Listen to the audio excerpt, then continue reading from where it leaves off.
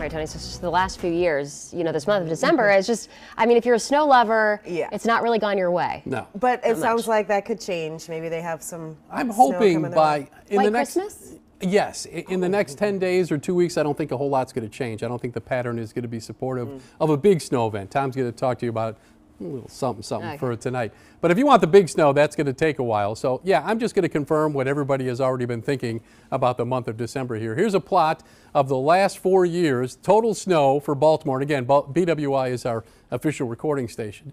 In December of 2019, there was none. That means there weren't even snow flurries reported at BWI. When there are snow flurries and it doesn't stick, it reports as a trace.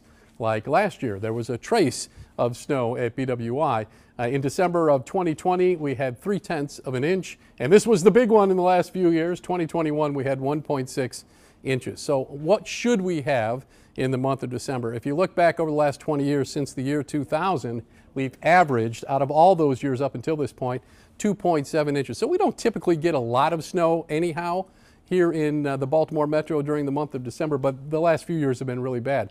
We get most of our snow in January and February. That shouldn't surprise you. February, most of the bigger snow events, if you look at the top 10 list for snow events for Baltimore, most of those have occurred during the month of February. We average around six inches in January and seven and a half, or I'll round that up to eight inches in February. And just to give a, a little smile on your face, I'll just remind you the biggest snow season we've ever had here in Baltimore, that was back in 2009-10, where we recorded 77 inches of snow. That was a good one.